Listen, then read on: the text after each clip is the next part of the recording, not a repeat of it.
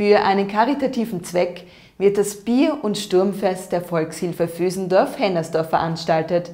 Bei idealem Wetter wurde der junge Sturm verkostet und ausgelassen getanzt.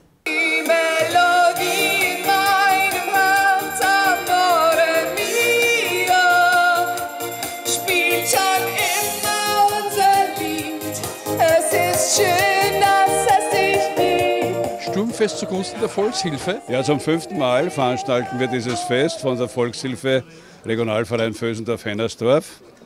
Es wirken hier verschiedene Organisationen, Befreundete mit, der Pensionistenverband, der Bierclub, der Kärntner, der Kulturverein und gemeinsam äh, versuchen wir eben, wenn das Fest erfolgreich ist, für soziale Zwecke Mittel zu lukrieren.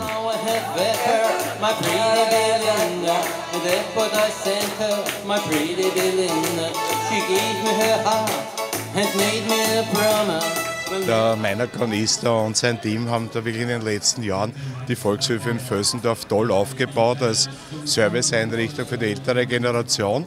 Da geht es dazu, dass man ein bisschen feiert und beim Feiern kommen auch finanzielle Mittel herein, die dann wieder für soziale Projekte in Vösdorf verwendet werden. Es ist nicht einfach, als Volkshilfe immer über alle Mittel zu verfügen, sodass Veranstaltungen gut tun, die ein klein wenig eine Spende bringen. Das ist vollkommen richtig.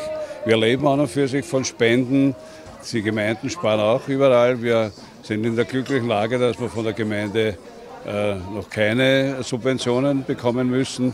Wir schauen, dass wir selbst äh, diese Gelder auftreiben, eben durch verschiedene Veranstaltungen, so wie heute das Bier- und Sturmfest, durch Flohmärkte äh, und verschiedene andere Dinge. Fösdorf ist überhaupt eine Vorbildgemeinde, das soziale Angebot für die Bevölkerung äh, betrifft. Es will keiner alt werden, aber irgendwann einmal kommt der Moment, was vom Essen auf Rädern, Haushaltshilfe, gesundheitliche Betreuung vor Ort notwendig ist. Und das macht die Volkshilfe perfekt. Es ist schön, dass er